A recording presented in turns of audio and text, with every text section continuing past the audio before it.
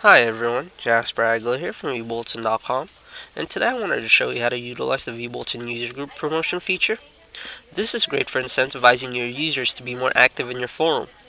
So in your admin control panel, click on user groups, promotions, and then click on add new promotion.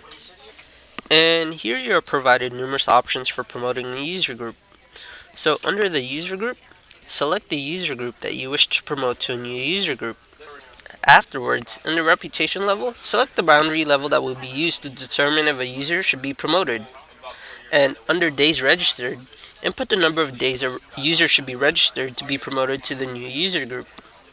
And under post, input the number of posts the user should have before they get promoted to the new user group. In promotion strategy, select which of the above conditions must be true for this promotion to be invoked.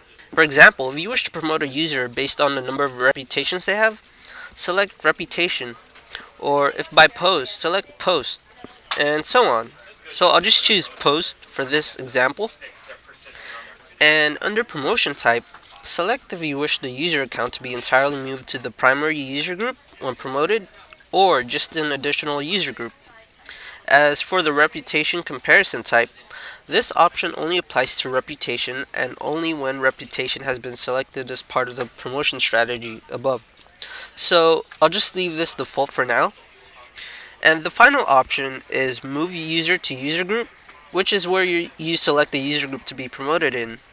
So I'll choose my custom created VIP user group and now just save. And note that it takes every one hour for the user group to be promoted. So yeah, congrats, you've successfully set up the user group promotion feature.